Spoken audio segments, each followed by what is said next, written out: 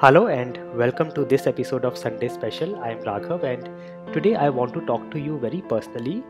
We often live our lives as we are immortal and we are going to be here for really really long time. We often delay things that matter to us assuming that we have lots of time left and in this process we often delay living. I have seen a lot of people who make plans of doing something they really like and love doing after their retirement are you one among them?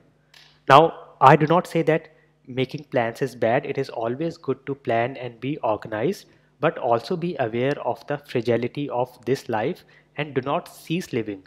Take out time now for the things that matter to you. Take out time to visit the places you want to see. Take out time to meet the people that matter to you and also start on that one thing that you really love doing. When you become aware of this life and its fragility, you will not waste a single minute and will always do the things that really matter and that are really important. I hope this will help you for your entire life and I will meet you in the next episode. Thank you for watching.